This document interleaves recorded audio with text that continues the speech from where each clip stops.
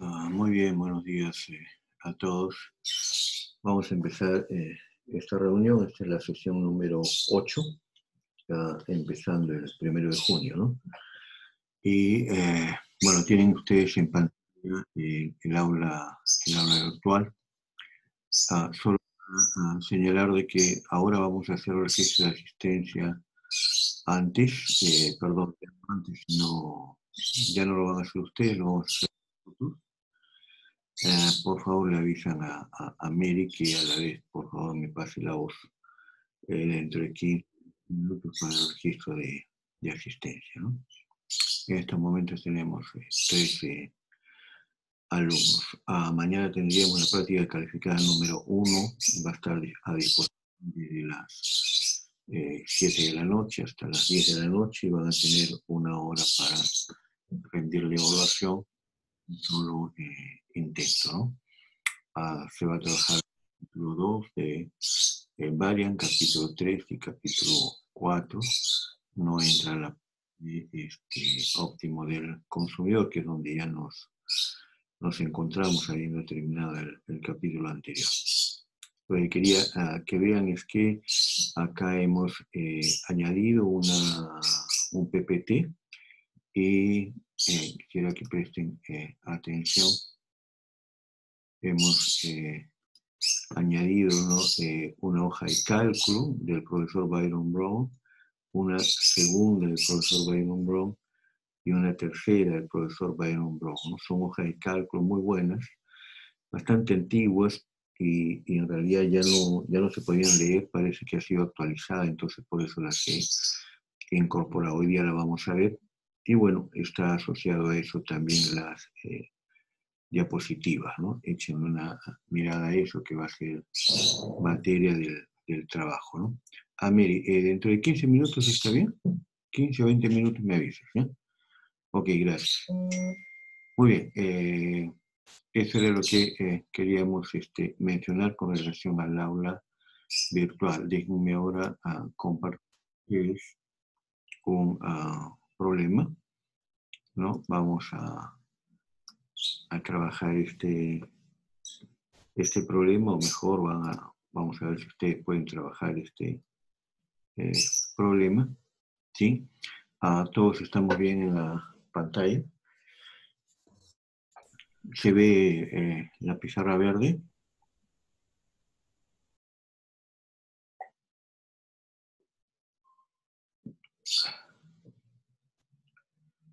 Ok, no sé si, están viendo la pizarra verde. Confírmenme eso por el chat.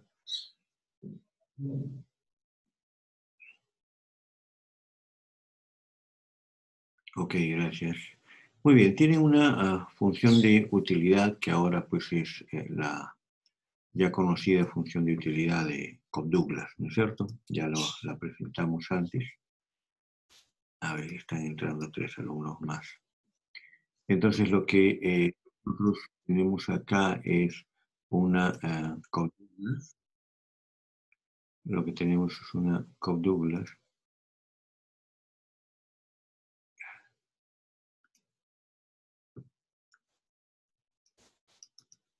Okay.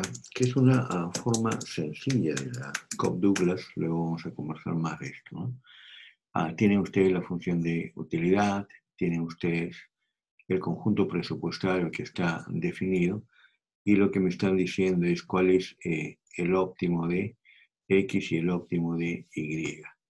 Entonces, eh, me dicen ustedes qué es lo que tendríamos eh, que hacer.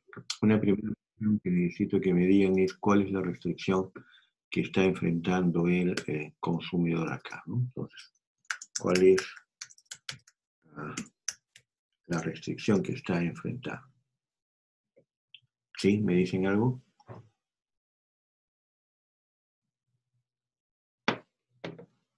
Ok, muy bien.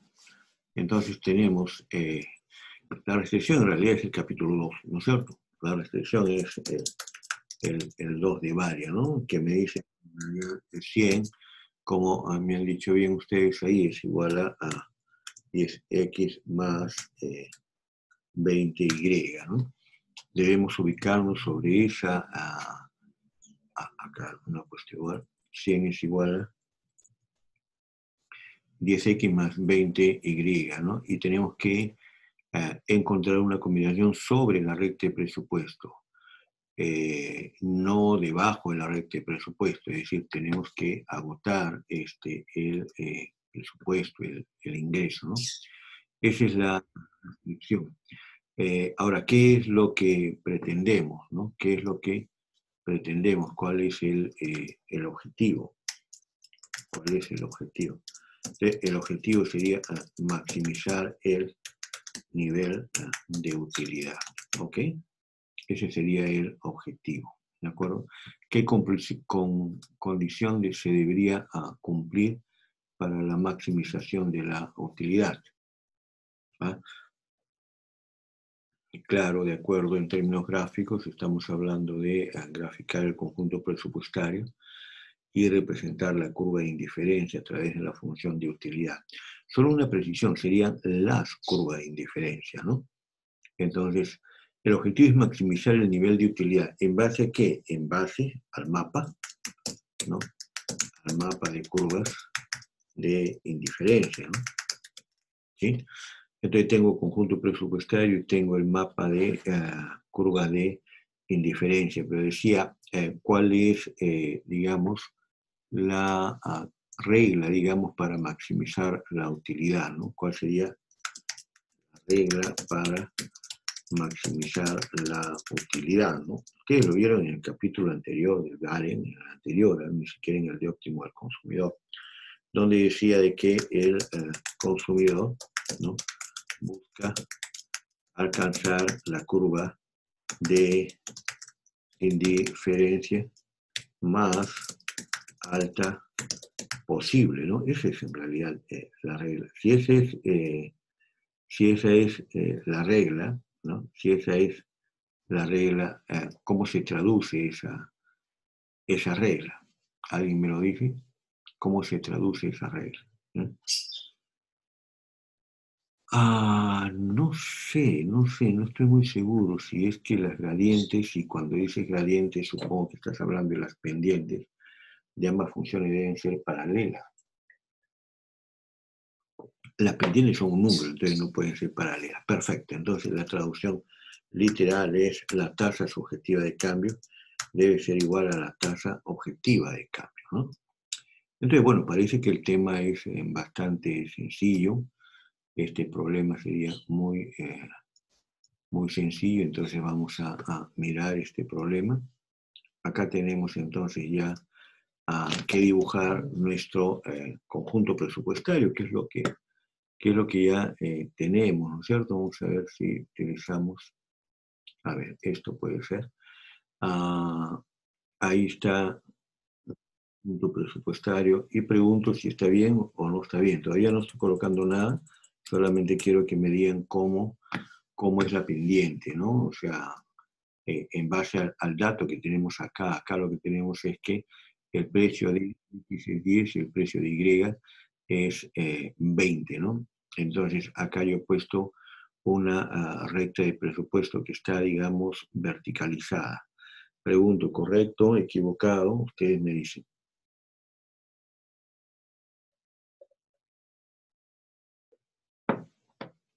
Ustedes me dicen es correcto, equivocado. Estoy asumiendo obviamente escalas iguales en el caso de cantidades del bien en el eje horizontal, las cantidades de X y las cantidades del bien en el eje vertical, las cantidades de Y, la escala es la misma. Por lo tanto, como debería ser este, OK. Entonces, ya me están diciendo, hay que horizontalizar esta, ¿no? Entonces, ¿por qué tendríamos que horizontalizar eh, esta, ¿no? Ah, ¿Por qué tendríamos que horizontalizar esta? Porque los interceptos, ¿no es cierto? Yo tengo acá a 100 como este, tengo acá 100 como eh, ingreso, ¿verdad? Este es mi ingreso 100 y con ese ingreso 100, si yo lo aplico solamente al consumo de eh, X tendría 10 unidades, pero si yo lo aplico al consumo de este Y, yo tendría a 100 entre 25 unidades, ¿no? Entonces, yo lo que tendría acá en términos de interceptos sería 5 por este lado ¿verdad? 5 por este lado. Y por el otro oh, lado tendría 10. ¿Estamos? Entonces, eso me horizontaliza la recta de presupuesto. Bien. Eh, eso es el capítulo 2. Ahora, ¿cuál es el capítulo 3 y el capítulo 4? ¿no? Entonces, para el capítulo 3 o el capítulo 4, entonces yo lo que tengo es mi mapa de curva de indiferencia, ¿no es cierto? Tengo ese mapa de curva de indiferencia. Y ese mapa de curva de indiferencia, a lo que hemos estado haciendo es dibujar pues tres, ¿no? O sea, tres curvas de indiferencia. Y acá está nuestro mapa de curva de indiferencia. Por definición, dada la, ah, eh, la ecuación de la ah, función de utilidad, eh, sabemos, ¿no? Fíjense, de que eh, dada esta función de utilidad, en la medida en que tengamos más unidades de X e Y, el nivel de utilidad va a aumentar, ¿no es cierto? Más de X, más utilidad, más Y, más utilidad. Estamos hablando de este, eh, bienes, ¿no es cierto? Ah, sí, de acuerdo, podría ser un poco más allá, no sé, a mí me parece que está más o menos bien, pero la idea es horizontalizarla, ¿no? Entonces, este es el problema. Eh, ustedes tienen un mapa de de indiferencia, ustedes pueden ir hasta el punto de saciedad, ¿no es cierto?, para alcanzar la de indiferencia más alta, punto a partir del cual, si ustedes lo sobrepasan, los eh, bienes se convierten en males, ¿no es cierto? Entonces, ahí hay una representación de tres y tengo el conjunto presupuestario que me está diciendo todo lo que yo... Uh, todas las combinaciones que están a mi alcance, eh, cumpliendo, ah, enfrentando los precios de X y los precios de, Y eh, con ese nivel de ingreso. Recuerden, el ingreso no es ingreso, es un presupuesto, vale decir, es ingreso con destino al gasto en una combinación de X, E, Y. Si gasto menos, soy ineficiente. Eh, gastar más es imposible, aunque podría ser deseable porque alcanzo curvas de indiferencia ah, más altas. Entonces yo tendría que ubicarme, como ya me dijeron ustedes acá, en eh, una condición donde eh, la tasa subjetiva de cambio sea igual a la tasa objetiva de cambio. ¿no? Entonces, eso me estaría llevando a algo como esto. Juguemos con esta misma. ¿no? Entonces, yo tendría que encontrar estas eh, pendientes, digamos. ¿no? Ah, si yo encuentro eh, la igualación de esas eh, pendientes, voy a cambiar un poco esto acá. Ah, si yo encuentro la igualación de esas pendientes, entonces me encontraría en un sitio como este, ¿no? Donde entonces este X suprasterisco estaría encontrado, ¿no? Ya tendría acá yo mi X suprasterisco, más o menos por acá, ¿verdad? Yo tendría la cantidad óptima de eh, X ahí y la cantidad óptima de Y más o menos acá, ¿no es cierto? Ahí tendría las cantidades. Y por lo tanto ya tendría el problema ah, geométricamente resuelto, ¿no? Ustedes ven de que ya tengo ahí el problema resuelto. Ahí están mis coordenadas para el ah, óptimo del consumidor. ¿sí? Entonces, ¿qué es lo que eh, tenemos que hacer ahora? Lo que tenemos que hacer es hallar pues esta ah, tasa subjetiva de cambio, ¿no es cierto? Entonces, hallen ustedes la tasa subjetiva de cambio y me dan el valor de, de esa tasa subjetiva de cambio. Y ustedes más bien, mientras ustedes descubren la tasa subjetiva de cambio, ustedes me dictan cuál es la tasa objetiva de cambio. Eso me lo pueden dictar de inmediato, ¿no? La TOC, ¿cuánto, cuánto es? Ok, entonces la TOC es 0.5 o si quieren, ¿no? Para leerlo como fracción es un medio. Y me resisto a colocarle este signo negativo, ya lo conversamos. Por supuesto que no hay ningún problema en colocar signo negativo, ¿no? Pero ya sabemos que el signo es negativo. Entonces la TOM ya la conozco. Me falta la tasa subjetiva de cambio.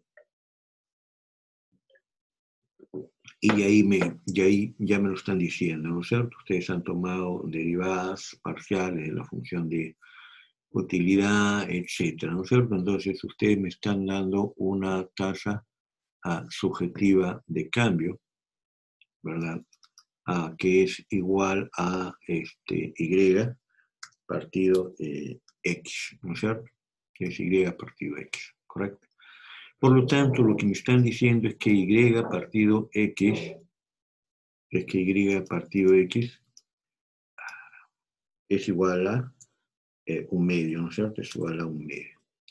Entonces, ustedes tienen acá una primera ah, relación, tienen acá una primera eh, relación, ¿no? Le voy a llamar a relación número uno, ¿sí?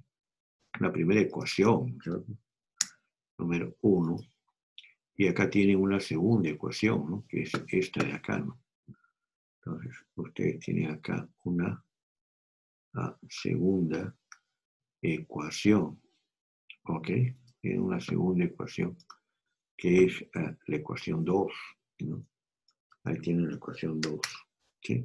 Acá yo tengo una relación entre X e Y, y acá tengo una relación entre X e Y entonces ustedes ya están en condiciones de decirme cuál es el óptimo del consumidor. Entonces, me dicen cuánto es X suprasterisco. Hagan sus cálculos.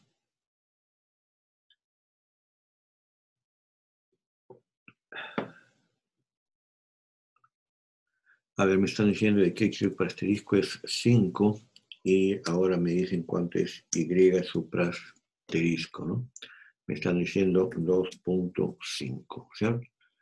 Entonces ya sabemos ya cuánto es eh, el óptimo del consumidor, ¿de acuerdo? Ahí está, ¿no? Podemos añadir, denme ustedes el nivel de utilidad, entonces multiplican la 5 por 2.5. Eh, ¿Ok? Ah, para todos queda ah, claro esto, se trata de alcanzar la curva de indiferencia más eh, alta posible, ¿no es cierto? Y en el caso, en el caso de este, una función de tipo Cobb-Douglas tan sencilla como la que hemos presentado, U es igual a eh, X que multiplica a Y, entonces hemos, estamos seguros de que ese nivel que es 5 por 2.5, ¿no es cierto? 12.5, ese nivel es el más alto posible, ¿no?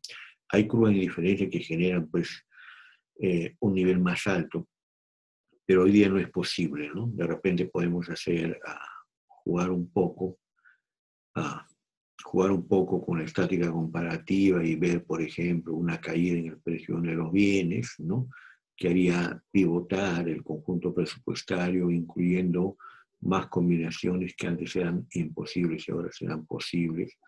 O otro ejercicio de estática comparativa sería cambiar eh, positivamente el nivel del ingreso, que nos va a dar otra franja de combinaciones que antes eran imposibles y ahora serían posibles, o una combinación de ellas, ¿no? un aumento del ingreso con una reducción en uno de los precios, o un aumento en el ingreso y la reducción de ambos precios, etcétera, de eh, combinaciones que rápidamente ustedes podrían ah, identificar cuál es ahora el óptimo ah, del consumidor.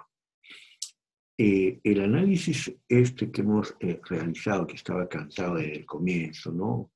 Dos de varian, miren la tasa objetiva de cambio, la tasa a la cual puedo en el mercado obtener una unidad adicional, por ejemplo, de X, entregando una cantidad de unidades de Y, ¿no? Y que está determinado, pues, por los precios relativos, ¿ok? En el capítulo 3 y 4, la tasa subjetiva de cambio, ¿no? Donde decíamos cuánto estábamos dispuestos a sacrificar de unidades, por ejemplo, del bien en el eje vertical para tener una unidad adicional eh, del bien en el eje horizontal y que era pues obviamente la tangente a la este, curva de eh, la pendiente de la curva de indiferencia, ¿no es cierto? Entonces cuando juntábamos ambas cosas, lo que hacíamos era hacer posible eh, el máximo de felicidad, el máximo de utilidad, el máximo de bienestar, de placer que podríamos alcanzar. Y lo que ustedes están viendo acá es un modelo, ¿no? Este modelo es el modelo de Cobb Douglas, y ni siquiera es el modelo Cobb Douglas, sino es una versión Cobb Douglas extraordinariamente, extraordinariamente sencilla, ¿no? Entonces, lo que hemos hecho para resolver este eh, problema ha sido emplear un análisis, ¿no? Un análisis de las eh, pendientes, ¿no es cierto? Podría realizarse un análisis de tipo geométrico, por ejemplo, ¿no? gráfico, digamos, ¿no? Ese sería, digamos, práctico en el caso de bienes, este, por ejemplo, complementarios eh, perfectos, ¿no es cierto? Eh, y así sucesivamente, ¿no? Entonces depende. En el caso de funciones no lineales, ¿no? Con pendientes eh, negativas, el análisis de pendientes es fundamental.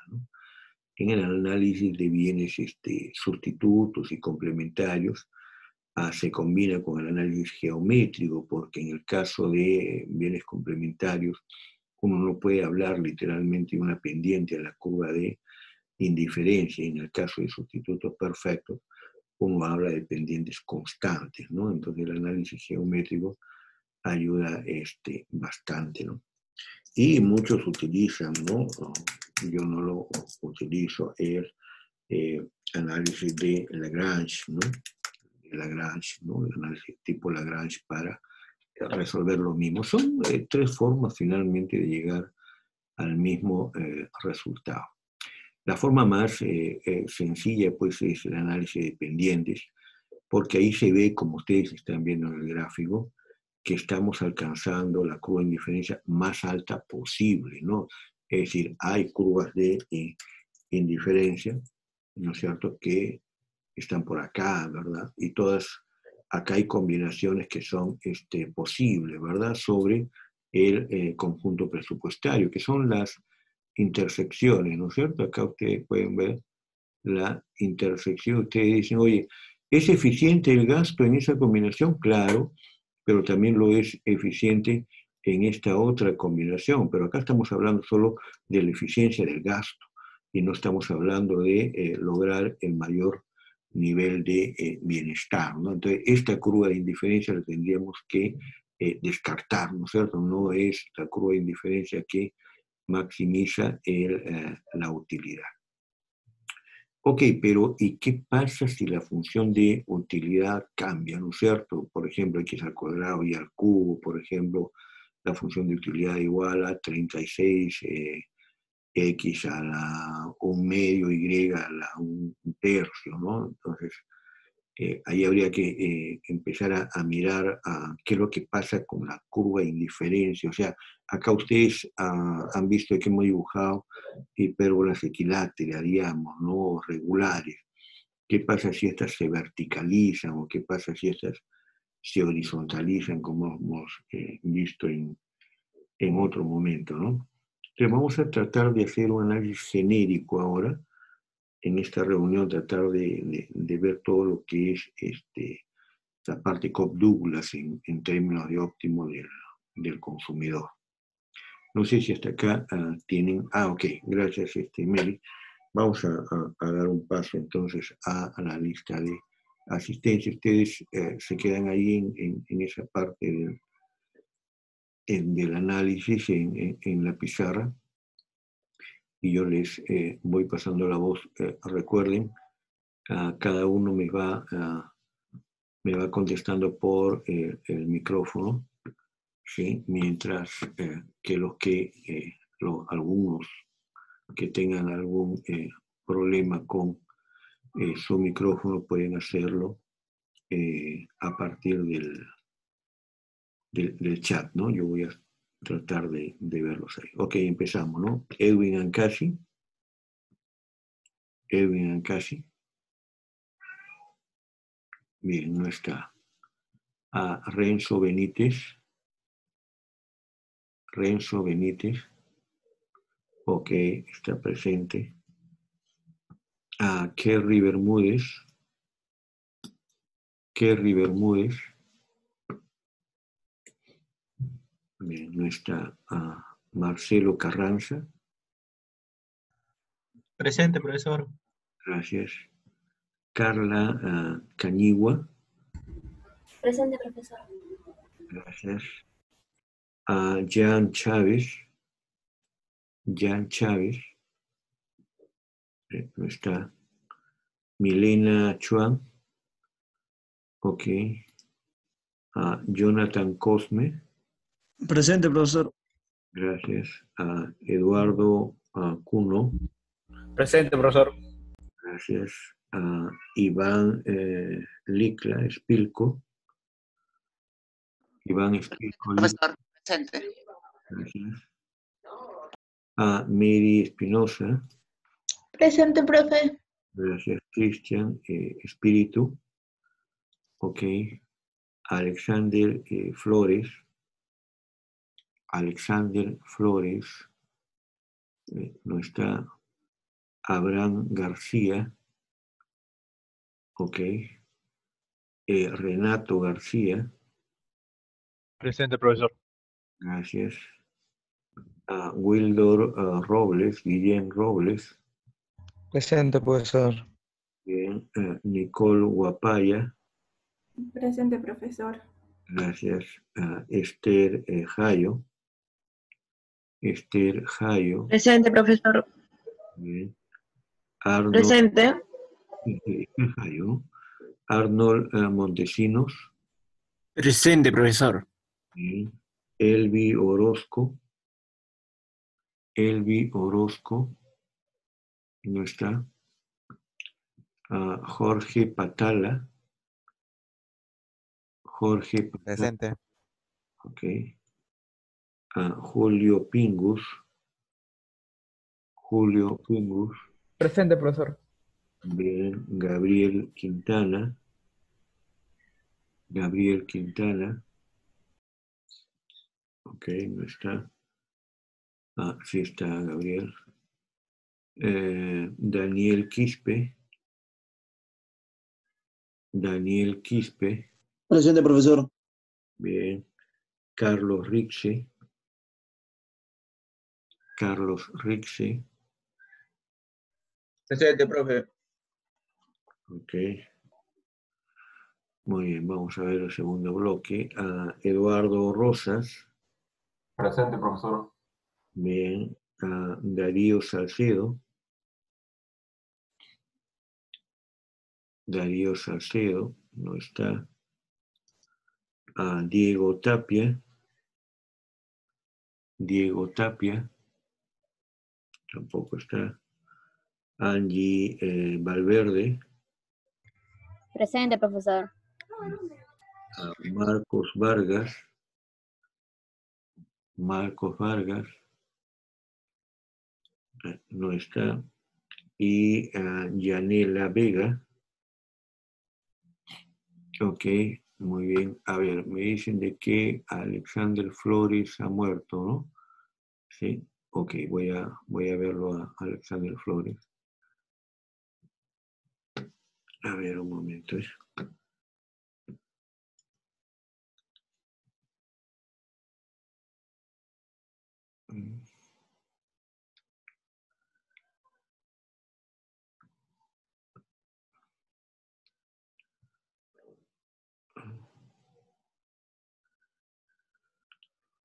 Alexander Flores, ¿no? Está vivo ya.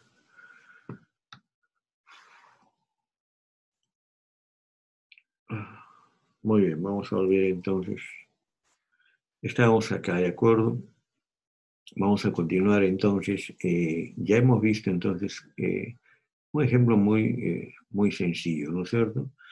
Vamos a dejar de compartir esta ah, pantalla y vamos a, otra pantalla a ver.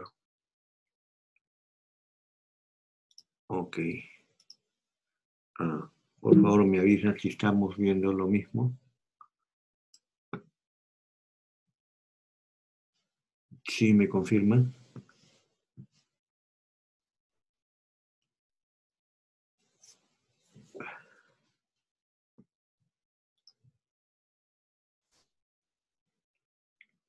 Ok, sí se ve, ¿no es cierto? Ok, gracias, gracias. Bueno, este es el problema, ¿no es cierto? Este es el problema, eh, el que habíamos visto y hemos encontrado una este, eh, solución al, problema, ¿ok? Entonces, ah, ¿qué pasa ahora si eh, tratamos de generalizar, ¿no es cierto? O sea, una función en el modelo de, de eh, ¿no?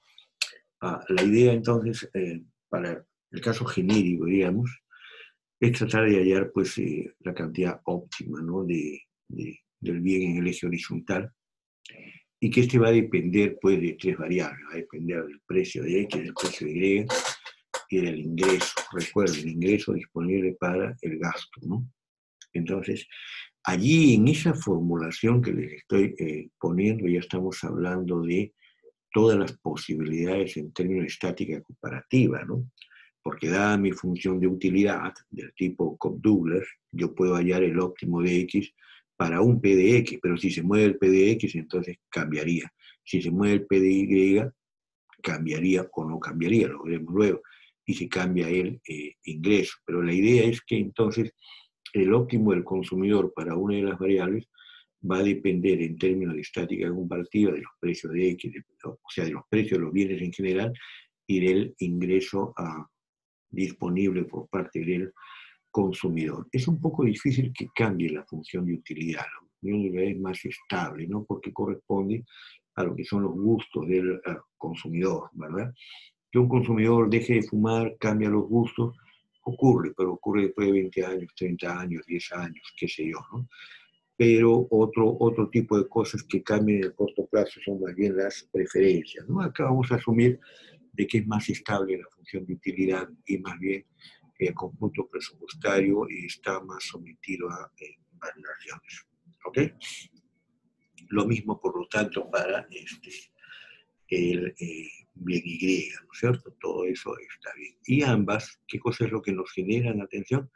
Nos están generando lo que se llama la CDO y la CDM es lo mismo, ¿ya? Ah, la primera se llama la curva de demanda ordinaria y la segunda, que es lo mismo, se llama la curva de demanda marshalliana, ¿no? En honor, en eh, mérito, en homenaje a Alfred eh, Marshall, el gran eh, vulgarizador de la economía de mercado, ¿no? de la economía neoclásica. ¿ok? Entonces, la idea es que una curva de demanda, como ustedes ya la conocen, ¿no? Es un par ordenado pues, de precios cantidades, ¿no? es un par ordenado de precios cantidades. Entonces, la ley de la demanda todos la conocen muy bien, si los precios suben, la cantidad demandada se reduce y a la eh, inversa. Entonces, la curva de demanda ordinaria o la curva de demanda marshalliana va a ser el resultado de aplicar la función de utilidad a la restricción presupuestaria, no para un óptimo del consumidor, sino para infinitos óptimos del consumidor. ¿Ok? Entonces, si yo tomo el modelo general de Cobb-Douglas, yo no solamente voy a obtener la cantidad óptima de cada uno de los bienes, sino también cómo se va a comportar esa función cuando se produce eh, los ejercicios de estática comparativa, cuando cambia el precio de X, el precio de Y o el ingreso. ¿Ok? Muy bien, vamos a, seguir entonces. No sé dónde estoy yo. Acá. Ok. Entonces vamos a empezar por la ah, función de utilidad que eh, repetimos es una eh, Douglas, ¿no? Entonces, ah, ¿qué queremos hacer acá? Alguien me dice ah, cuál es la pretensión de colocar la diferencial total de la utilidad igual a, cero. ¿Sí? ¿Alguna intervención en esa, en esa línea?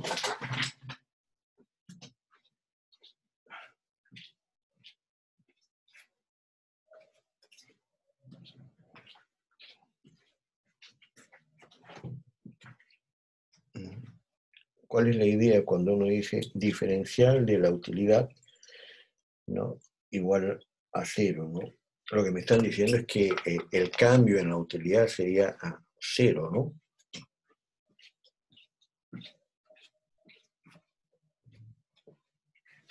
Los puntos están sobre una curva de diferencia que no me generan utilidad, sí, diferencia de utilidad. Que nos estamos moviendo sobre una curva de indiferencia, ¿no es cierto?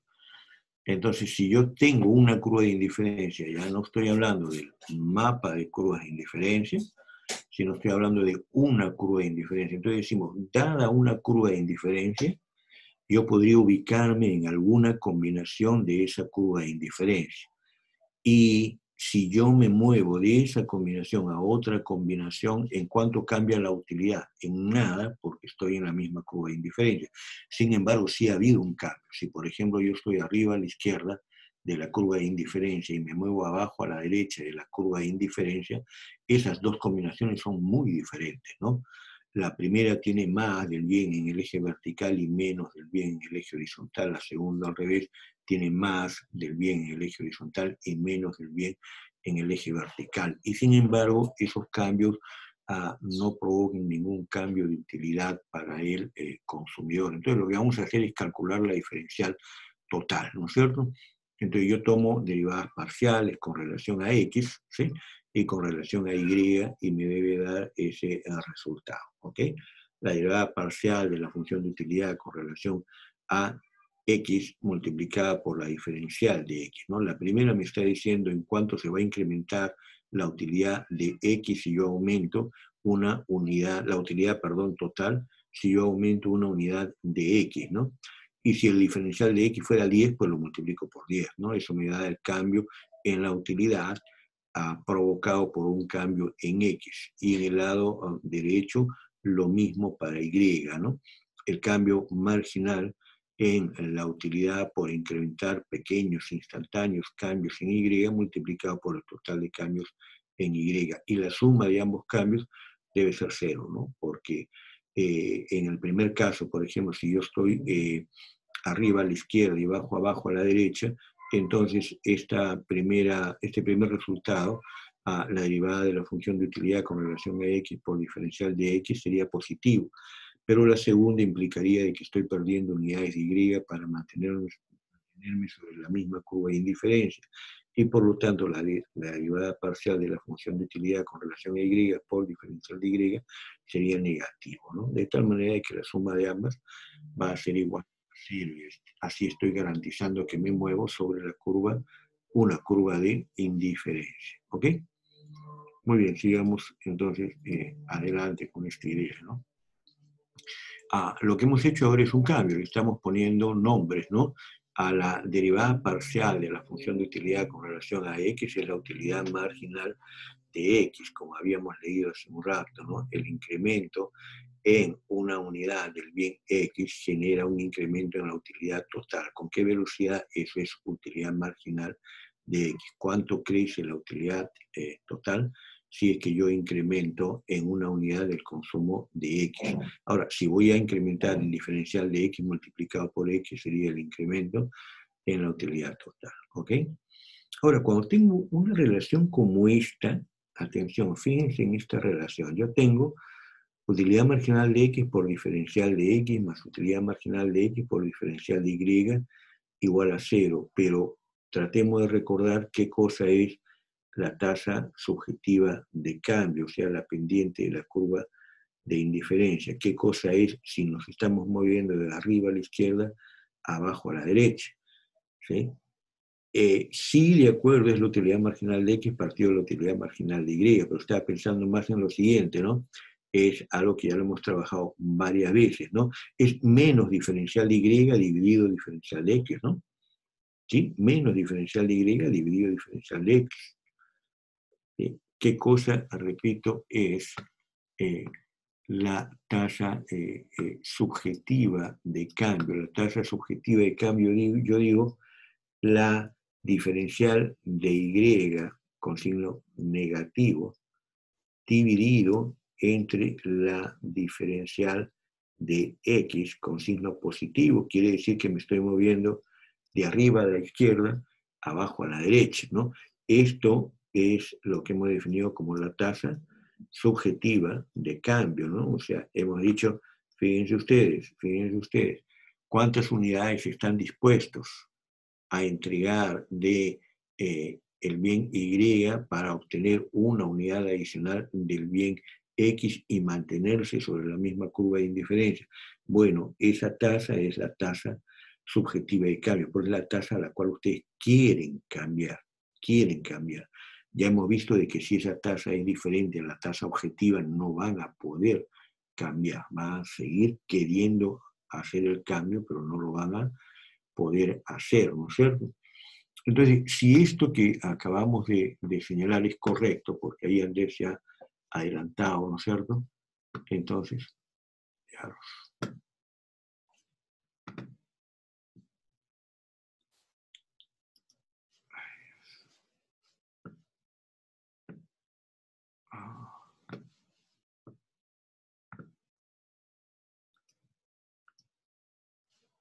A ver si esto es así. Entonces ya puedo continuar yo acá y encontrar esto, ¿no? Reordeno la ecuación anterior, ¿no? Y pongo menos diferencial de Y partido diferencial de X es igual a la utilidad marginal de X partido de la utilidad marginal de Y y esa es mi tasa subjetiva de cambio, ¿no? Esa es mi tasa subjetiva de cambio o tasa marginal de sustitución, ¿no? Como, como dice el eh, texto. Hasta aquí, ok, ¿no es cierto? Hemos terminado con la función de utilidad. Yo tengo la función de utilidad, es una de tipo Cobb-Douglas, todavía no he dicho cómo es que es de tipo Cobb-Douglas, ahí está. Asumimos que es una de tipo Cobb-Douglas y he calculado la diferencial ah, de la utilidad total y eso me ha permitido calcular la pendiente. Yo ya sé de que la pendiente es el ratio de las utilidades marginales de X partido Y o, atención, puede ser la utilidad marginal Y partido la utilidad marginal de X también, si es que yo me muevo de abajo a la derecha, arriba a la izquierda. Me olvido entonces del mundo de las querencias, de, de, las, de las preferencias, pero ya sé eh, el modelo y ahora tomo el modelo del conjunto eh, presupuestario. ¿no? Y este modelo me va a decir eh, lo mismo, ¿no? de espejo Y, y si ahí tengo Y a la izquierda y a la derecha, tengo la función en términos de X, de nuevo yo puedo obtener diferencial de Y partido diferencial de X, ¿correcto? Entonces puedo avanzar acá y encuentro lo mismo, ¿no? Ahora eh, los cambios en Y con relación a X son la tasa objetiva de cambio. Y es lo que acabamos de hacer en, en la pizarra verde para calcular el óptimo del consumidor, ¿no? Vale decir igualamos, pues, ¿no? la diferencial de Y partido de la diferencial de X eh, implica de que el precio de X partido por el precio de Y, lo que me dice lo que puedo hacer, la tasa a la cual puedo cambiar, debería ser igual a la tasa a la cual quiero cambiar, ¿no? Entonces, esta condición es la que nos debe permitir resolver el eh, problema, ¿ok? Pero ahora no vamos a decir que la función de utilidad es x por y, sino la función de utilidad es a veces x elevado a la a, y elevado a la b, donde a es un positivo, ¿no es cierto? Y a minúsculo y b minúscula son coeficientes que también son eh, positivos, ¿de acuerdo? Eh, ustedes luego van a poder convertir eso en, por ejemplo, alfa y 1 menos alfa, ¿ya? Es decir, de tal manera que la suma de exponentes sea igual a la unidad. Atención, tomen nota de lo que acabo de decir.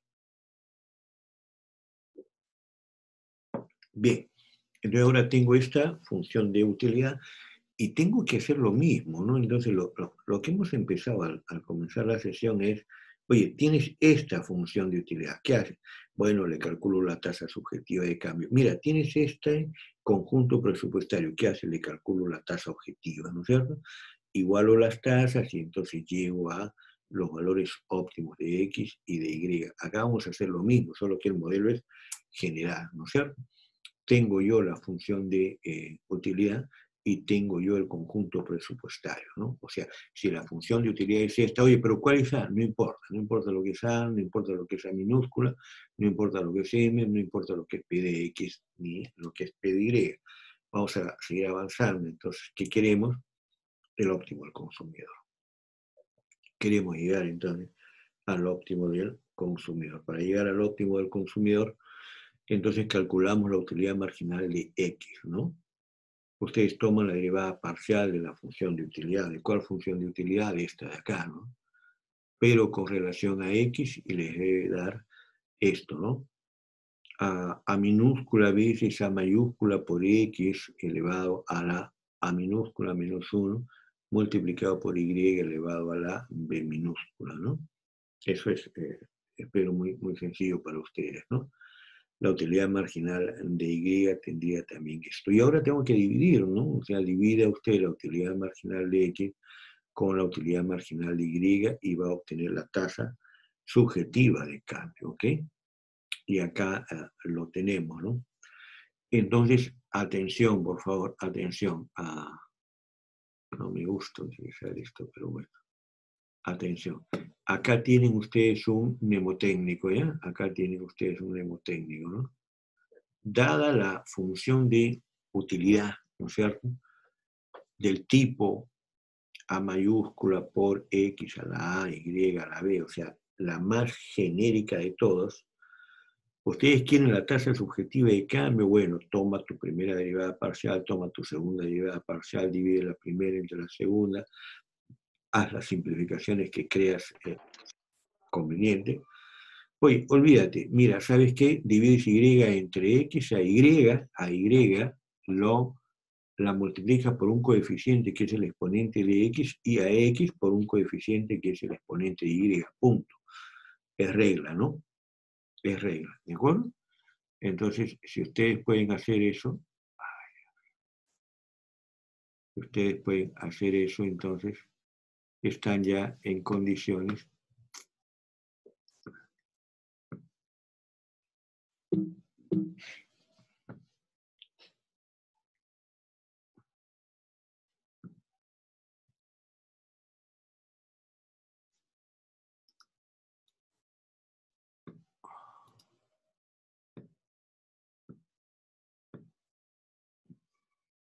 voy a tener que cambiar para acá. Ahora sí. Listo. En consecuencia, ahora tenemos que igualar la tasa objetiva de cambio con la tasa subjetiva de cambio. Ya conozco la tasa subjetiva de cambio, ¿no? A veces Y partido B veces este, X, ¿no? Y la tasa objetiva de cambio ya la conozco, es precio de X partido precio de Y, ¿no es cierto? Entonces, eso nos va a permitir ahora llegar al siguiente resultado, ¿no es cierto? Al hacer esta igualación, ¿no? Y por P de Y igual a B partido A por X por el precio de X, yo ya estoy en condiciones de obtener a una relación ligada al conjunto presupuestario. Fíjense lo que tengo acá, ¿no? Yo sé de que Y por el precio de Y, ¿no? Lo puedo reemplazar por valores en términos de X y el precio de X, ¿sí? porque son iguales acá. Y si tomo el conjunto presupuestario, entonces yo tengo ahí el ingreso, que es un dato, el P de X por X, del cual P de X es un dato, X es una variable, y en lugar de P de Y e Y, lo voy a reemplazar por una función en P de X por X, con lo cual me quedaría solamente con X más parámetros, ¿no? Entonces, eso es lo que tengo yo aquí. ¿Ok? M entonces va a ser P de X por X más B minúscula partido A minúscula por P de X que multiplica X. Ya tengo resuelto el problema. En esta ecuación, en esta ecuación, M es un parámetro, el precio de X es un parámetro, B es un parámetro, A es un parámetro, y X es la única variable, y entonces ya tengo yo la forma de obtener, ¿de acuerdo? La cantidad de X. Y ahí está. Segundo mnemotécnico, entonces, para una función de utilidad del tipo Cobb-Douglas, ¿no? donde U es igual a A mayúscula por X a la A, Y a la B. Bueno, fácil, pata. Tomas M, lo divides entre el precio de X, ¿no? Como si fuera el intercepto horizontal. M entre el precio de X, ¿de acuerdo? A m lo acompañas, a m lo acompañas por el coeficiente de x, que es la demanda que tú estás eh, calculando, y lo divides entre la suma de los dos coeficientes, regla. ¿no? Entonces, si yo le digo, a ver, jóvenes, ¿cuál es la cantidad eh, óptima para x y la función de utilidad es igual a x al cuadrado y al cubo, ¿no? X al cuadrado y al, cubo, ¿no? Entonces me va a salir 2 quintos, ¿no? 2 más 3, 5, 2 quintos, que multiplica m partido el precio de x, ¿no? Entonces es la fórmula general. Y para Y, suprasterisco, ah, lo mismo, pues, ¿no? Lo mismo. ¿Y qué cosa hemos encontrado? Hemos encontrado ya las cantidades óptimas de ambos bienes, pero en términos generales, ¿sí? En términos generales. Entonces, veamos la de X óptima, ¿no? X óptima depende de parámetro, parámetro, parámetro, parámetro y el precio de X, ¿no es cierto? Entonces, es la ley de la demanda, pues, ¿no? La ley de la demanda, observen que el precio de X está en el denominador, ¿no? El precio de X está en el denominador.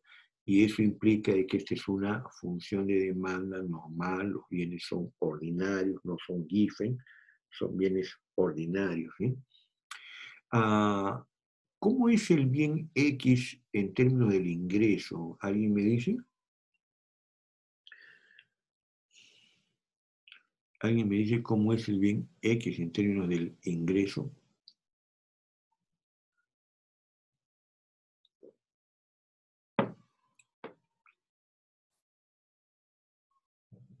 Recuerden su clasificación de bienes, ¿no?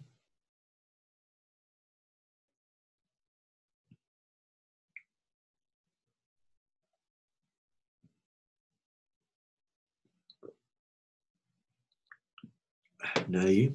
¿O ya se fueron todos?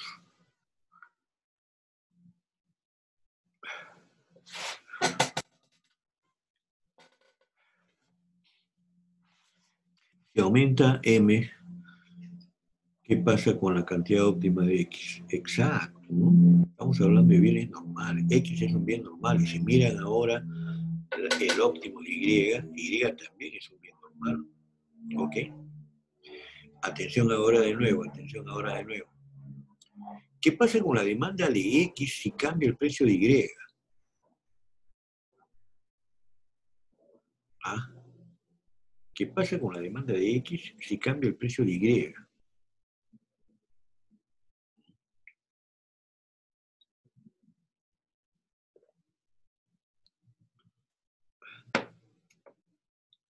No pasa nada, efectivamente, no pasa nada. Entonces es tremendamente interesante, ¿no?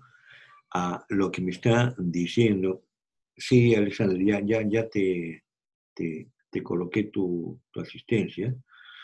Este, lo que le estaba diciendo es que eh, si en la ecuación que, nos ha, salido como resultante del análisis apareciera el precio de Y, lo que diríamos, lo que diríamos es que hay una relación, ¿no es cierto? O sea, cuando se mueve el precio de Y, eso afecta a la demanda de X, ¿no? Ya sabemos de que ese tipo de relación debería ah, conducirnos a conocer si se trata de bienes sustitutos o bienes eh, complementarios. En este caso son bienes independientes, ¿ok?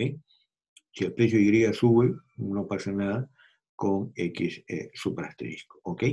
Va a generar obviamente un impacto en el ingreso, porque el gasto en Y, cuando cambia el precio de Y, o sube o baja, ¿no es cierto? Y le va a dar o mayor disposición para consumir X o menor disposición para consumir X, dependiendo, ¿no? Entonces, es interesante, ¿no? De que ustedes puedan ver eh, el resultado ya de cualquier función de utilidad de tipo Cobb-Douglas, ¿no? Cualquiera que sea la función de utilidad de tipo Cobb-Douglas, ahí tienen ustedes lo que se llaman curvas de demanda ordinaria o curvas de demanda marshalliana, ¿ya? Una curva de demanda ordinaria o marshalliana, que luego vamos a ver en términos este, gráficos. Hasta aquí, si no tienen eh, ningún problema, ¿no? Podemos declarar terminada esta parte. Voy a dejar de este, compartir eh, esto y vamos a compartir ahora eh, otra cosa, ¿ya? Vamos a ver, eh, esto es acá, ok. Vamos acá, por favor me confirman si todos estamos en, en la hoja de cálculo ahora.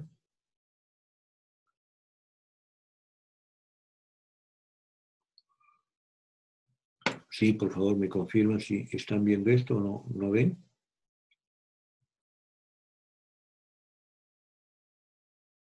Ok. Muy bien. Eh, el profesor Byron Brown, ¿no? El profesor Byron Brown es eh, un profesor de la eh, Universidad de Michigan, ¿no? Michigan State University. Y él desarrolló este trabajo hace mucho tiempo, hace poco más de 20 años, ¿no? Poco más de 20 años.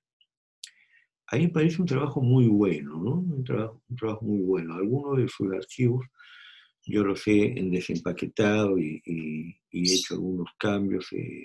primero la traducción nada más pero después me pareció bien interesante porque él no solamente les da el, archivo, sino les da además una, pequeña guía sobre cómo se ha construido el, archivo. Entonces, aquellos que tengan algún interés por estas cosas, ah, si quieren me, piden el enlace y se lo paso, o simplemente lo uh, googlean, ¿no? Eh, es eh, problemas de microeconomía, Problems on Microeconomics, y ponen Byron Brown, ¿no? Si quieren pueden poner Michigan State University.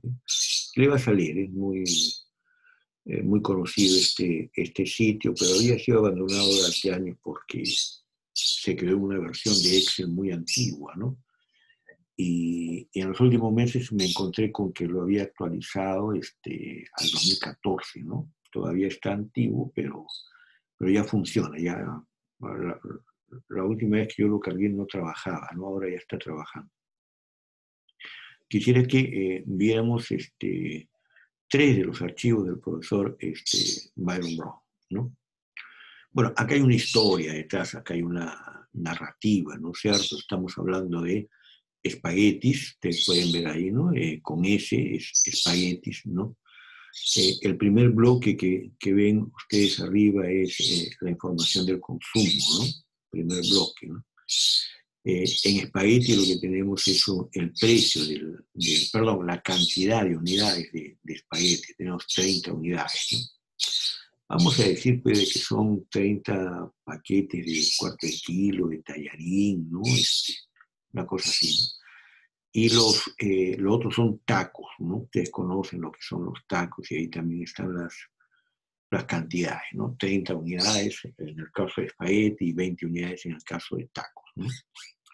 Eh, los espaguetis son eje horizontal, ¿no? Están, son, digamos, 30 unidades de X y 20 unidades de eh, Y, ¿no? Esa es la información de a la canasta, ¿no? De la combinación donde se encuentra, la combinación donde se encuentra el consumidor. Pedro Medario se encuentra allí, ¿no es cierto? El segundo bloque que encuentran a la derecha del, gráfico es el, bloque del conjunto presupuestario, ¿no? O sea, arriba está lo que hace, ¿no? Lo que hace el consumidor es consumir 30 unidades de espagueti y 20 unidades de tacos. Eso es lo que está haciendo el consumidor. Entonces, eso es lo que hace. El segundo ah, bloque me está dando información con relación al conjunto presupuestario, o sea, a la restricción. Tiene un ingreso de 50, el precio del, espagueti es 1, eh, el precio del taco es 2. Ah, hagamos una corrección. Eh, los tacos son una comida, ¿correcto? Entonces, el espagueti es un plato espagueti, ¿ya? ¿Estamos? O sea, eh, digamos, el consumidor va al restaurante a consumir, un cierto, un plato de espagueti, ¿no? Porque tacos es un plato de comida, no es algo preparado, ¿no? Yo estaba hablando de fideos, sino eh, es un plato, eh, eh, es un plato de fideos, un plato que vamos a consumir de fideos, no, no una bolsa de fideos. Bueno, tenemos el ingreso que es 50, el precio de los espaguetis que es una unidad monetaria y el precio de los tacos. Entonces, ¿qué hace el profesor? muy sencillo, ¿no? Divide el precio del espagueti ¿no? entre el precio de los tacos, o sea, el precio de X partido precio de Y, y tiene la tasa objetiva de cambio que es 1. ¿ok? Y después tiene una información de preferencias, o sea, la información que se obtiene de la función de utilidad. Pues. Entonces, repito, el bloque de arriba es lo que ha hecho el consumidor. El bloque del medio es las restricciones. Y el bloque inferior es sus preferencias, sus gustos. ¿ok? Vale decir, tengo función de utilidad, tengo restricción de presupuesto y me he ubicado en una determinada combinación. Entonces, la pregunta que uno se hace acá es, oye, ¿será correcto eso? Bueno, echemos una mirada a cuál es la información que hay de preferencia del consumidor. Y lo que hay es directamente la tasa subjetiva de cambio, ¿no? Ahí está la tasa marginal de sustitución de espaguetis por tacos, ¿no es cierto? Eh, y nosotros la conocemos como tasa subjetiva de cambio. Entonces la pregunta obvia es, ¿está maximizando utilidad? Y la respuesta es no, porque la, la tasa subjetiva es diferente a la tasa objetiva, ¿ok? Entonces, si eso este, está, eh, si eso está ocurriendo, si eso está ocurriendo, ah, le pregunto, ah, bueno, es obvio ya de que no está en el óptimo del consumidor. Entonces, la pregunta para ustedes es, ¿qué debe hacer el consumidor? ¿Qué debe hacer el consumidor?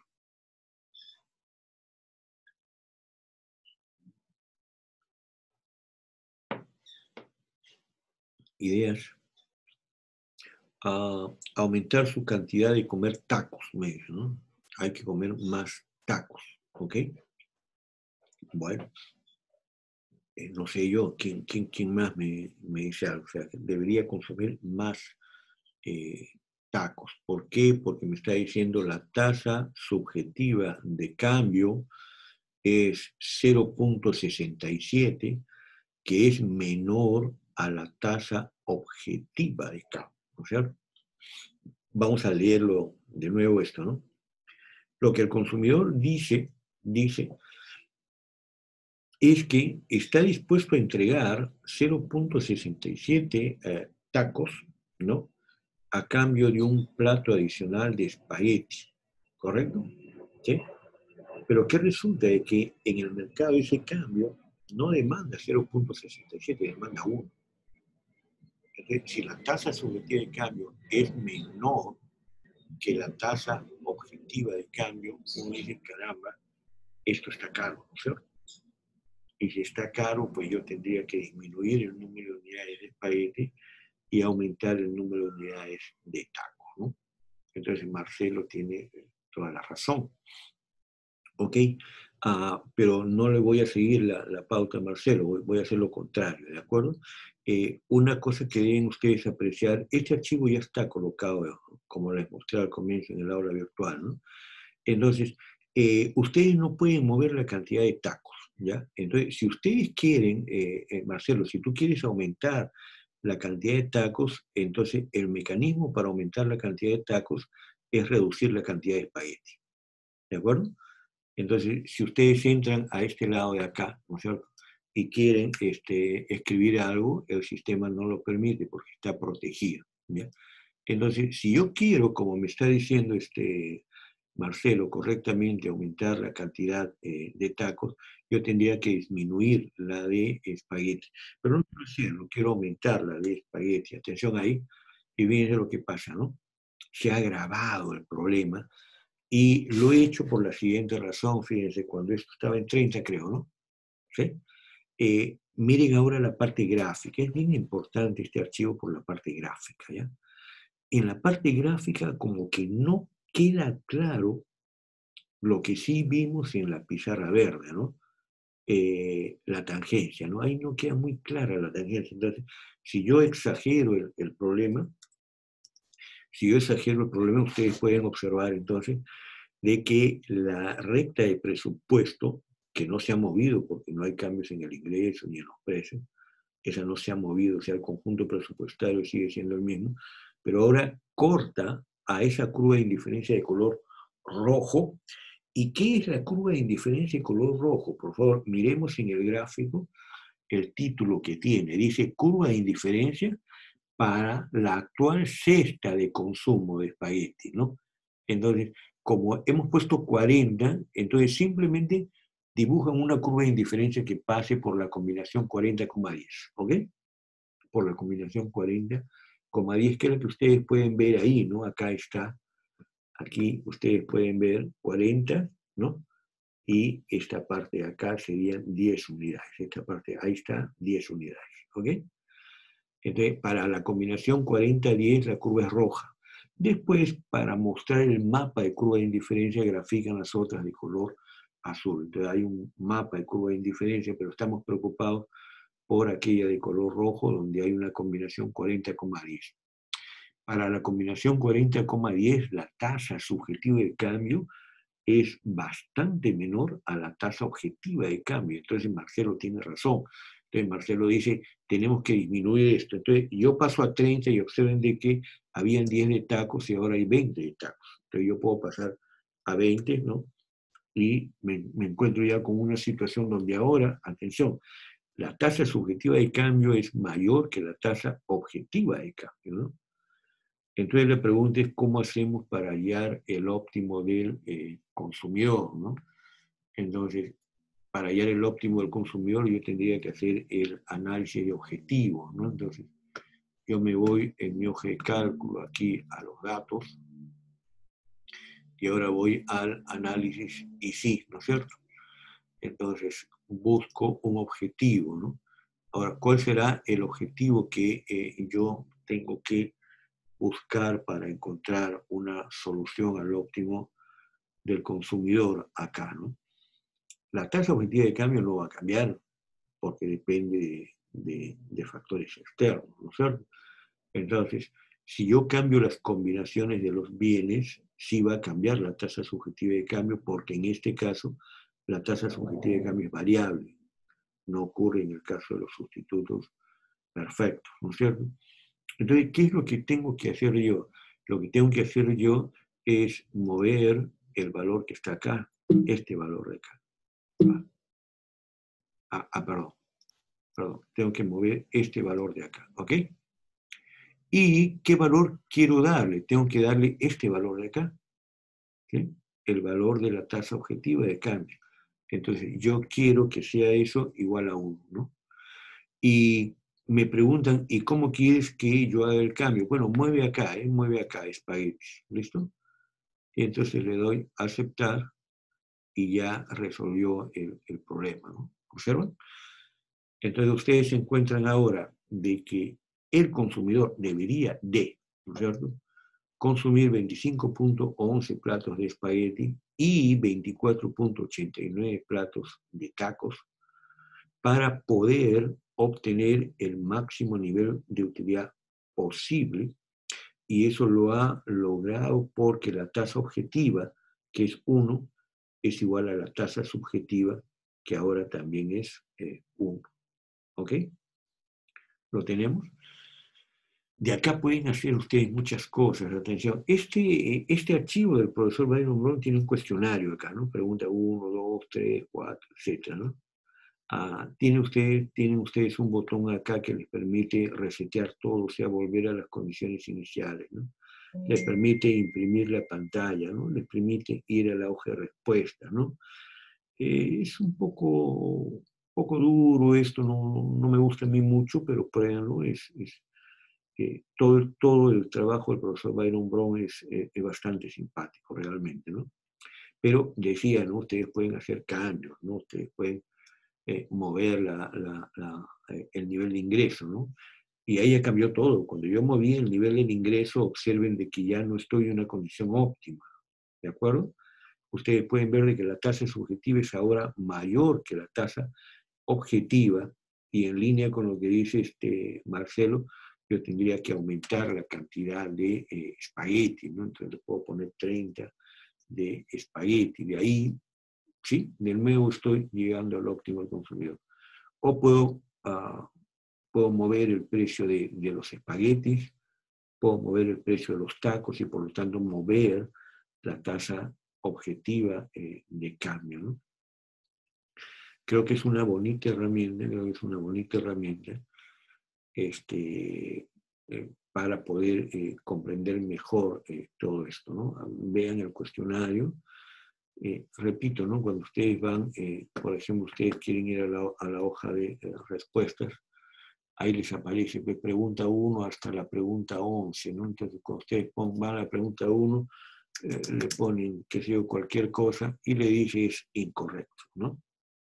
Entonces, está bastante bien, ¿no? Pueden poner su nombre, su código de estudiante, bueno, eso no tiene mayor este, importancia, ¿ok? Pero ahí tienen ustedes un paquete de, de, preguntas, paquete de preguntas para eh, resolverlas. Tienen entonces un modelo en hoja de cálculo, un modelo de simulación en hoja de cálculo desarrollado por el profesor Brown Donnelly lo que hace el profesor es trabajar con una función de utilidad que está definida ahí, la función de utilidad. Está definida, ¿ok? Y entonces ustedes pueden cambiar eh, el, conjunto presupuestario, pueden cambiar la cesta de consumo y el sistema va a ir eh, estimando eh, cuánto es la tasa objetiva y cuánto es la tasa subjetiva. Y cuando ustedes aprecian la tasa objetiva y subjetiva, van a llegar al análisis de si la tasa subjetiva es igual a la tasa objetiva, estoy en el óptimo. Si la tasa subjetiva es mayor a la tasa objetiva o menor, no estoy en el óptimo. Si la tasa subjetiva es mayor, yo digo, caramba, qué barato está eh, los espaguetis, voy a comprar más espaguetis, ¿no? Si la tasa subjetiva es menor que la tasa objetiva, qué caros están los espaguetis, voy a comprar más eh, tacos, ¿ok?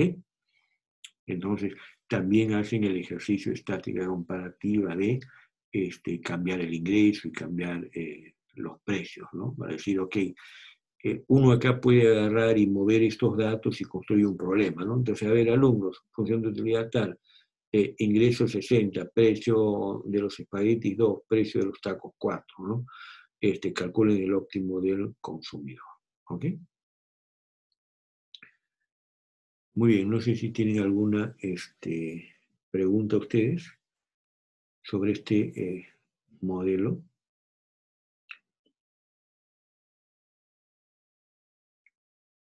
Vamos a ver el modelo ah, dos veces más, ¿ya?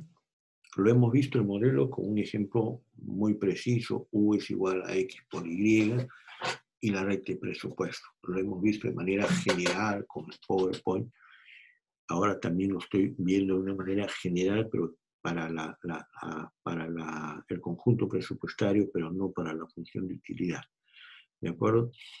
Entonces vamos a volver a hacer este mismo, este mismo modelo eh, dos veces más, este mismo modelo dos veces más, ¿ya?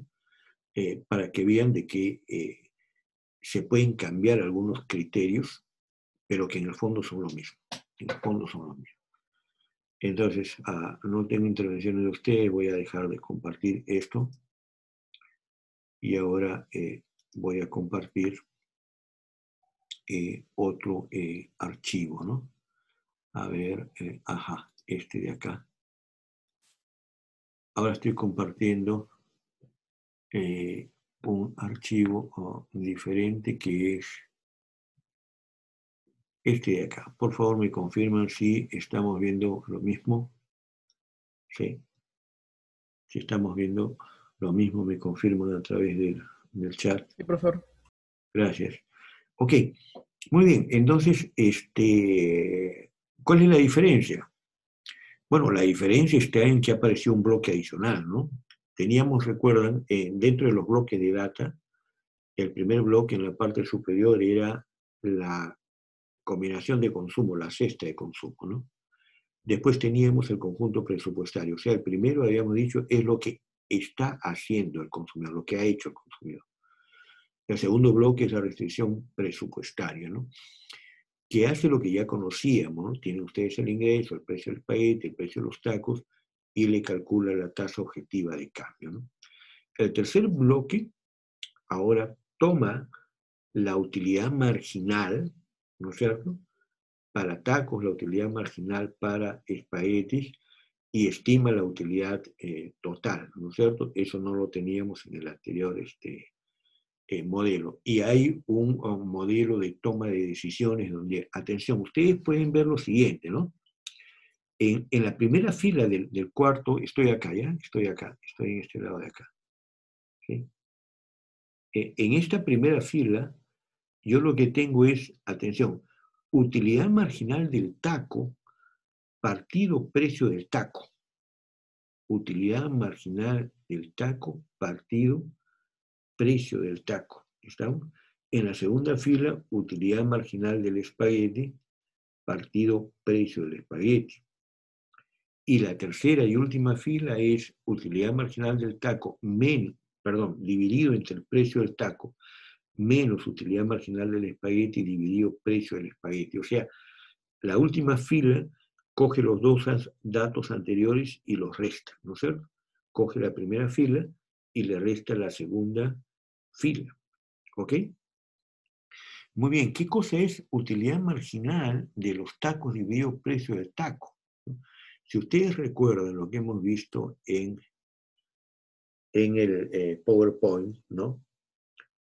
Tomamos diferencial total de la función de utilidad, ¿no es cierto? Y encontramos de que la utilidad marginal de X partido utilidad marginal de Y era la tasa subjetiva de cambio. Al final hacíamos utilidad marginal de X partido utilidad marginal de Y igual al precio de X partido precio de Y. Entonces recuerden esta última, ¿no? Utilidad marginal de X partido precio de X partido utilidad marginal de Y es igual a precio de X partido precio de Y. Ahora metamos el precio de X a la primera y el precio de Y a la segunda, ¿no? Y la utilidad marginal de Y a la segunda. Entonces nos va a quedar utilidad marginal de X partido precio de X igual a utilidad marginal de Y partido precio de Y. ¿Todos estamos ahí? ¿Eh?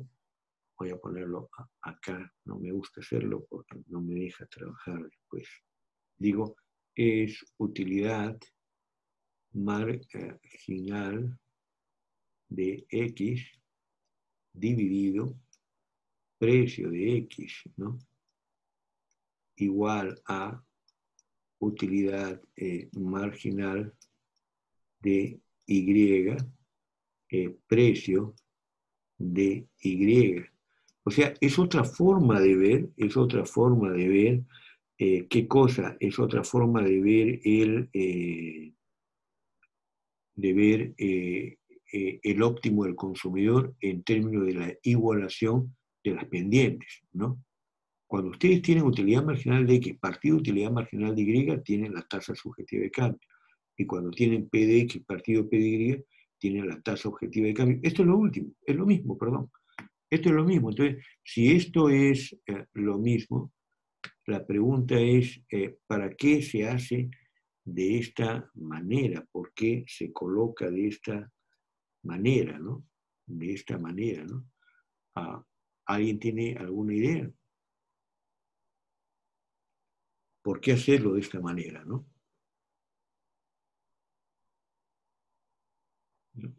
¿Cómo se lee? Supongamos que la utilidad marginal de X partido del precio de X sea, hemos dicho de que X es espagueti, entonces eso es 0.1152, ¿correcto? 0.1152, ¿ok? Y la utilidad marginal de Y partido del precio de Y, que serían los tacos, serían 0.4243, pero que es menor, ¿no? 0.42 43. ¿Estamos? ¿De acuerdo ahí? Entonces, eh, ¿qué significa 0.1152? O sea, ¿cómo leen ustedes 0.1152? ¿No? Ah, piensen eso y, y denme, regalen un par de minutos, por favor.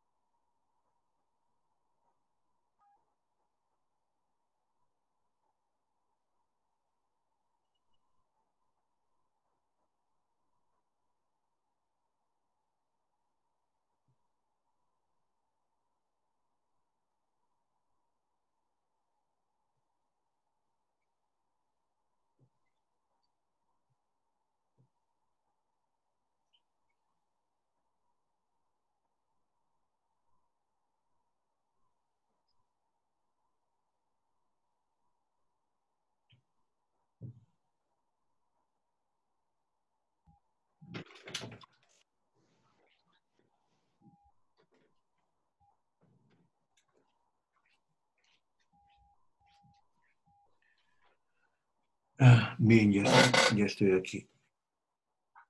A ver, decía, eh, decía que lo que tenemos es la utilidad ah, marginal de eh, X partido precio Y, de, X, que, sería la del espaguetis 0.1152, que es menor a 0.42 eh, 43, ¿ok? ¿Qué, ¿Qué, significa, ¿Qué significa esto? ¿no? Entonces, cada uno de, de, de, de, los términos, dividir la utilidad marginal de X entre el precio de X, ¿no? lo que me está diciendo, lo que me está diciendo es a cuánto,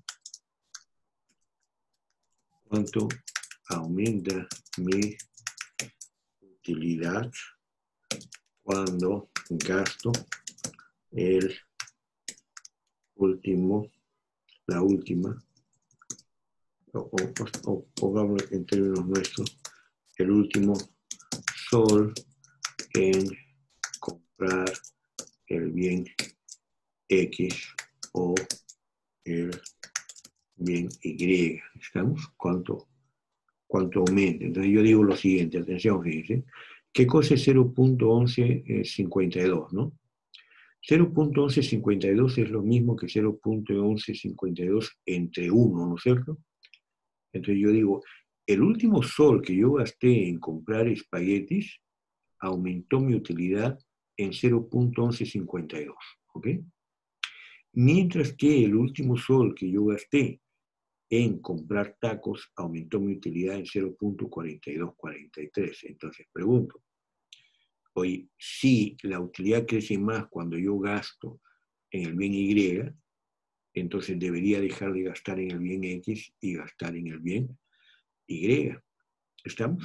Ahora, ¿qué pasa si el último sol que yo gasto en comprar espaguetis me genera el mismo cambio en utilidad que el último sol gastado en eh, tacos? En ese caso estaría en equilibrio. Pero si los números 01152 o 04243, cualquiera de ellos, fueran iguales, en realidad la resta de ellos debería ser cero, ¿no? ¿Sí? En otras palabras, si ustedes hacen de que la utilidad eh, marginal de X partido el precio de X menos la utilidad marginal de Y partido el precio de Y, si ustedes lo restan, en el óptimo debe cumplirse eso. Ahí estamos de acuerdo, en el óptimo debe cumplirse eso. Si eso se debe cumplir en el eh, óptimo, ¿de acuerdo? Lo que yo tendría que hacer ahora para trabajar el óptimo del consumidor es señalarle que mi objetivo acá, en esta celda, es que esto sea cero, ¿no? Entonces voy a trabajar nuevamente, voy a ir a mis datos, voy a ir a análisis y sí, buscar mi objetivo y yo quiero de que esta celda sea mi objetivo y que el valor de esto sea cero y de nuevo voy a cambiar pues el número de platos de espagueti, ¿no? Ya lo resolvió y ya está, ¿ok? Ahora tenemos, observen ustedes de que la utilidad marginal por sol gastado en tacos es 0.2167 y en espaguetis es 0.2167. O sea, ahí obviamente eh, el sistema, pues si ustedes le aumentan el número de decimales, se van, se, se van a juntar más todavía. Y ahora miren el gráfico, ¿no?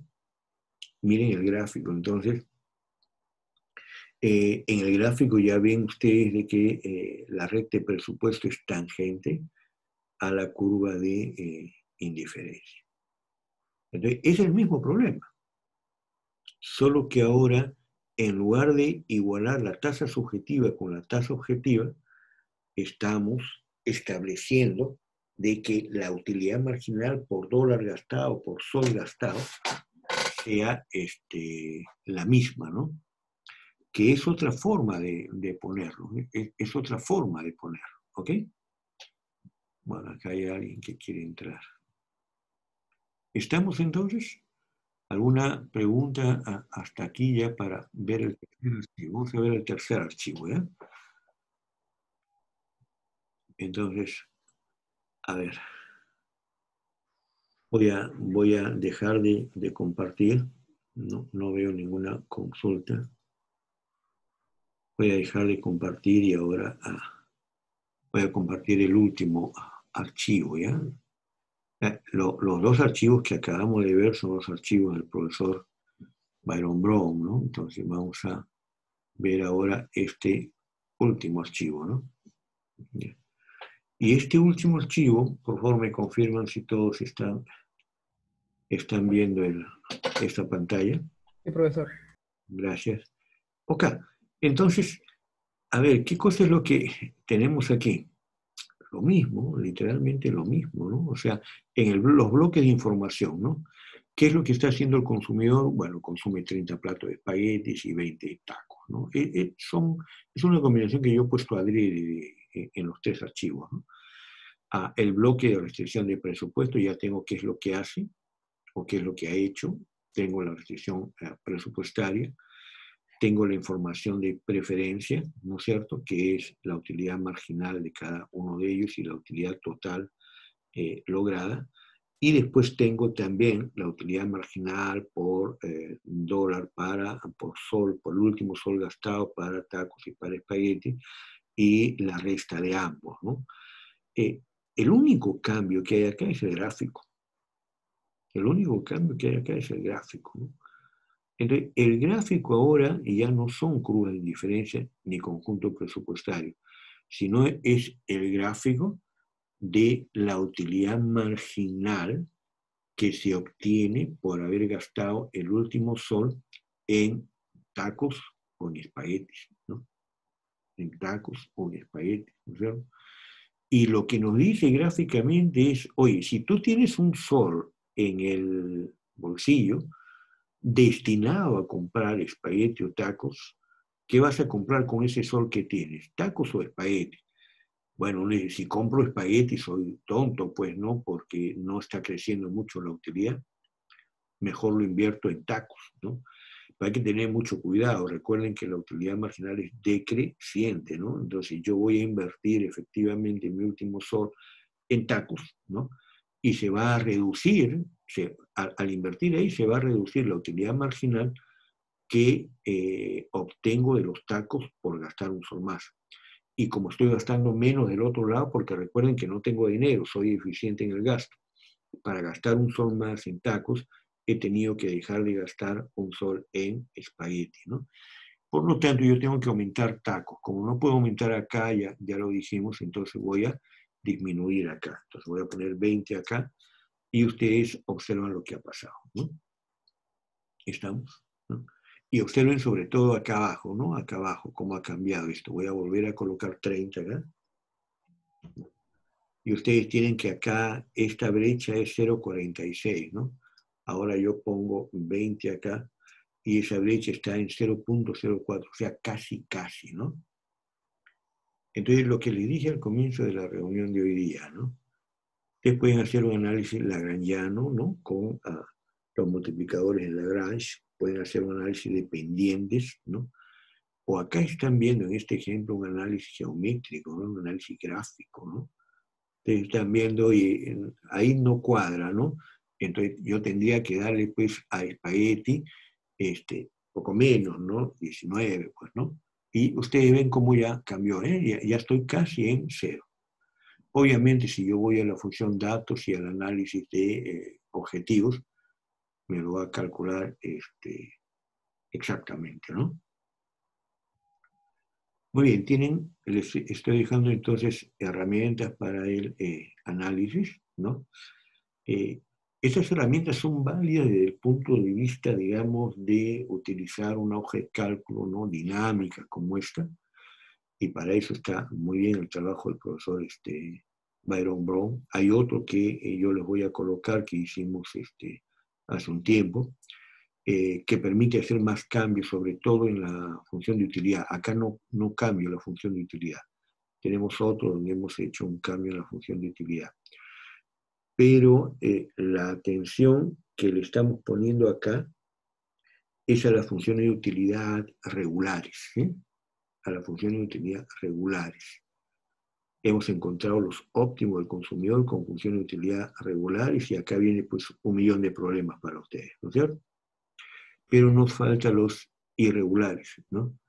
Entonces, en la siguiente reunión vamos a trabajar las, eh, óptimo, el óptimo del consumidor para funciones irregulares. Vamos a hablar allí de los complementarios perfectos, vamos a hablar allí de los eh, sustitutos perfectos, vamos a, hablar allí de las preferencias cuasi lineales, ¿no? En, términos de óptimo del consumidor. Y luego vamos a retomar todo junto de nuevo para ya graficar curvas de demanda marshalliana o curvas de demanda ordinarias. ¿Ok? Bueno, muy bien. Eh, si no tienen ustedes alguna pregunta, voy a empezar por parar la grabación.